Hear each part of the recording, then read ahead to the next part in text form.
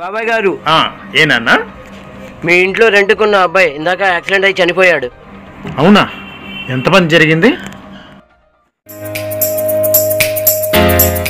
అదేంటి సార్ మీకు తెలీదా? మా అన్నయ్య వర్క్ చేసిన బిల్డింగ్ మీద నుంచి పడి చనిపోయాడు. అలాగా?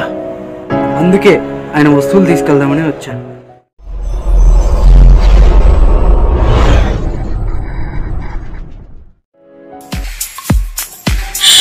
అమ్మయ్యా హ్యాపీ.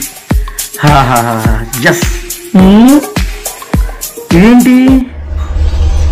ఇప్పుడుగా పూడ్చిపెట్టి ఎంత రకంగా వచ్చింది ఇది? దేవుడా.